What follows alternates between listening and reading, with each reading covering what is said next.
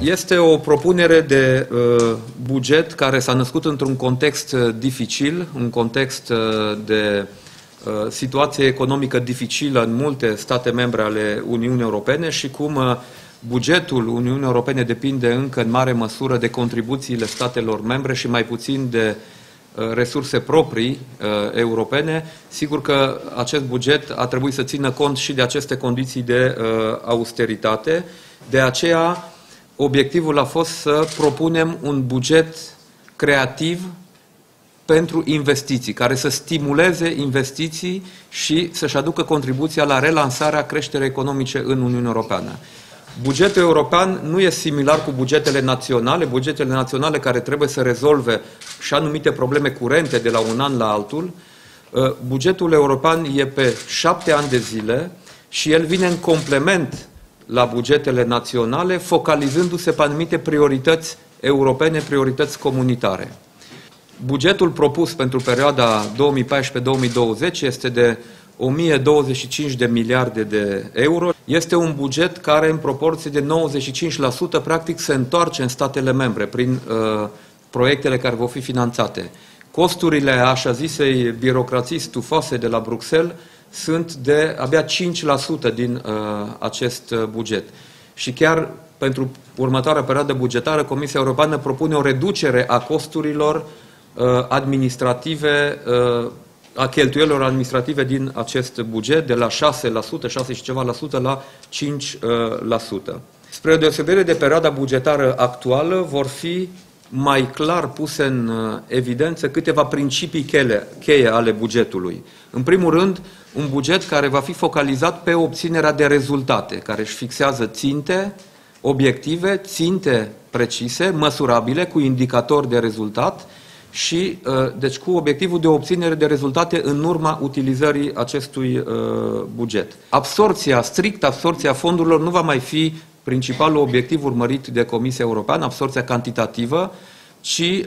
se va pune accentul mai mult pe obținerea de rezultate. Al doilea principiu, cel al condiționalității, deci alocarea financiară se va face pe baza unor angajamente din, stat, din partea statelor membre de uh, obținere a acestor uh, rezultate și de altfel pentru fondurile structurale uh, vor exista uh, niște contracte de parteneriat între statele membre și Comisia Europeană și în aceste contracte de parteneriat, în schimbul fondurilor care sunt alocate de la nivel european, statele membre se vor angaja să atingă anumite obiective care vor ține cont în primul rând de specificitatea națională, dar și de obiectivele fixate la nivel european prin strategia uh, Uniunii Europeană 2020. Un alt uh, principiu important este acel al simplificării regulilor. Comisia Europeană va face eforturi prin reformele politicilor comunitare care vor urma să simplifice pe cât posibil procedurile, fără ca prin aceasta să scadă gradul de uh, asigurare a bunei utilizări a fondurilor europene, dar reguli mai simple, mai clare, mai transparente pentru a reduce pe cât posibil birocrația, cu speranța că uh, statele membre nu vor adăuga mai multă birocrație în uh, normele de implementare în urma adoptarea acestor regulamente europene. Și un al patrulea principiu important, uh, cel legat de flexibilitate, pentru a asigura un, o, adaptare, o adaptare, o adaptabilitate mai ușoară a bugetului pe această perioadă bugetară de șapte ani de zile, o, o mișcare mai ușoară a fondurilor de la o linie bugetară la alta, în funcție și de prioritățile care uh, vor fi eventual puse în evidență pe parcurs, dar și pentru o utilizare mai eficientă a fondurilor.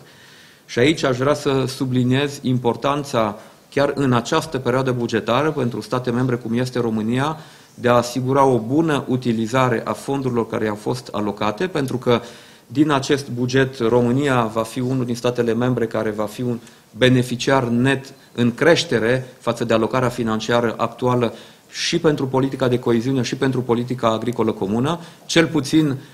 pe baza propunerilor Comisiei Europene, vom vedea, vom vedea care vor fi rezultatele în urma negocierilor între Parlamentul European și Consiliu, dar cel puțin în propunerile Comisiei România este un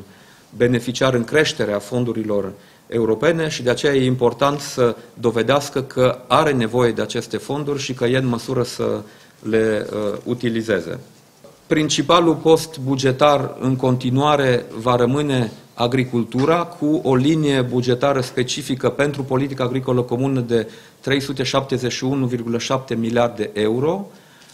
uh, care include plățile directe și politica de dezvoltare rurală, la care se adaugă o disponibilitate financiară de încă 15,2 miliarde de euro, deci un total de 386,9 miliarde de euro pentru agricultură. Deci aceste 15,2 miliarde de euro sunt uh, finanțări care sunt legate de politica agricolă comună, dar care sunt prezente în alte linii bugetare. Aș vrea să vă dau doar uh,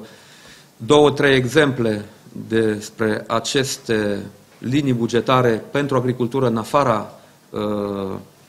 bugetului strict legat de politica agricolă comună. Uh, un buget de 4,5 miliarde de euro pentru cercetarea și inovarea în agricultură. Este pentru prima dată când uh, va exista o linie de finanțare specifică pentru sectorul agricol agroalimentar, pentru cercetare-inovare, dar care nu va finanța doar proiecte de cercetare pentru niște rapoarte care să fie puse într-un dosar și într-un sertar, ci va finanța consorții între uh, laboratoare și institute de cercetare, producători agricoli și organizațiile lor, Uh, structuri care se ocupă de formarea profesională, de consultanță pentru agricultură, întreprinderi din sectorul agroalimentar.